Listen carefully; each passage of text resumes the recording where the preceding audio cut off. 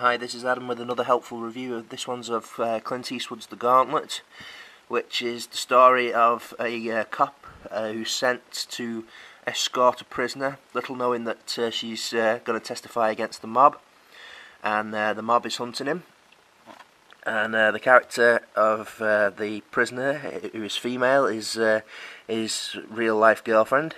Um, it's a very funny, very fast and furious film with lots of action. Uh, it's rated 18. It uh, it's just a brilliant movie, full stop. Um, we got to give the story a 7 out of 10, and the special effects uh, are a bit far fetched in places, so we got to give that 6 out of 10.